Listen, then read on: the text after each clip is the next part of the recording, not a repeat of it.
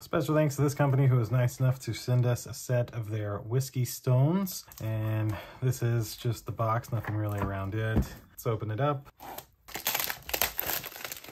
So, ooh, very nice. All right. Look at that, it's even labeled here. So these were very unique because they look like, look at that. They look like little sets of ammunition. So they say best dad ever. Do they all say that? Yeah, looks like, yep.